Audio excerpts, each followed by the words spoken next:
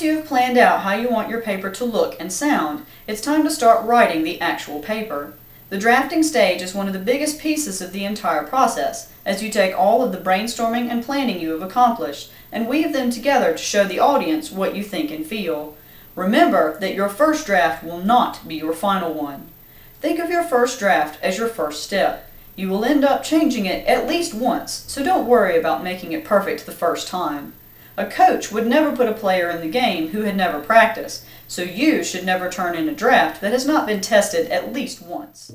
Give yourself time. If you wait until the last minute to write your paper, you will not have time to revise and rethink your ideas. Make manageable goals for yourself, such as I plan to select a topic through brainstorming one week after the project has been assigned, or I will have my first draft finished two weeks before it is due so I can revise it. Don't set ridiculous goals for yourself. But also, don't set goals that waste time. Be reasonable with yourself and your abilities, and plan to spend a great deal of time drafting and revising. You'll be moving between these two stages a great deal. Support your point. Once you have established what your main point will be, use research to support your ideas. Be specific rather than general, and use details to prove your points as strongly as possible. When in doubt, be obvious. We will never know unless you tell us. Also consider the rhetorical modes you identified for your paper back in the planning stage. Make sure that the format of your paper and your supporting evidence always match. Use citations from your research. Using quotes and material from other sources can lend your paper a great deal of credibility in the eyes of others. However, keep in mind that this is your paper and should not be a bunch of quotes from other sources rearranged into a new paper. Your research should never replace your writing. Strive for a balance between your thoughts and the thoughts of others. Clarify your point.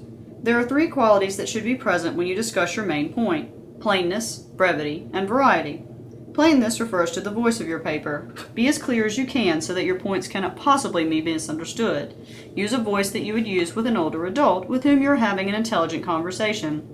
Brevity means that you should be short and to the point. Say what you mean to say and be done with it. Don't use long, complicated phrases or flowery language. Using active voice will help you avoid this. Make sure your verbs are doing something in every sentence. Variety refers to your sentence structure. Don't use the same subject-verb-object format for every sentence you write.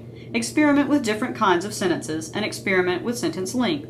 The whole point of the drafting process is to figure out how you want your paper to read and look, and you cannot effectively do that in one draft. So play. View your draft as a conversation. Your paper draft should be flexible and open to change. Why should your paper's point remain the same if you change your mind? There's absolutely nothing wrong with changing your opinion or points as long as you make sure your evidence still supports them. Just like a spoken conversation, a paper is a written conversation with an invisible audience. You are creating a dialogue that will constantly change and adapt to new circumstances and research. Begin in the middle.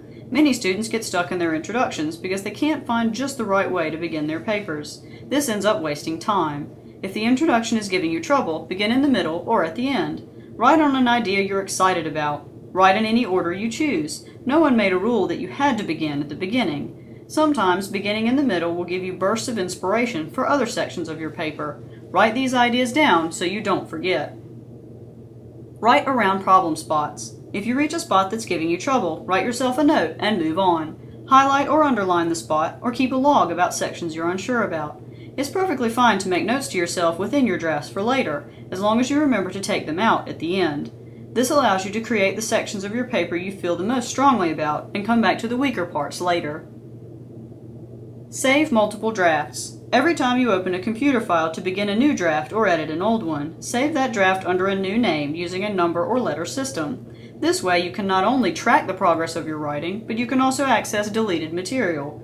Be sure to back up your hard drive often, or save your files on a portable jump drive or external hard drive to protect them. Drafting is the phase where you can experiment with your points and evidence and see how everything fits together. Don't be afraid to play around with order, format, or structure. You can always change what you've written, so go ahead and write it down and see how it looks. No one will see any of your drafts but your final one if you don't want them to, so allow yourself to be flexible and even a bit silly with your writing. See you in the next stage.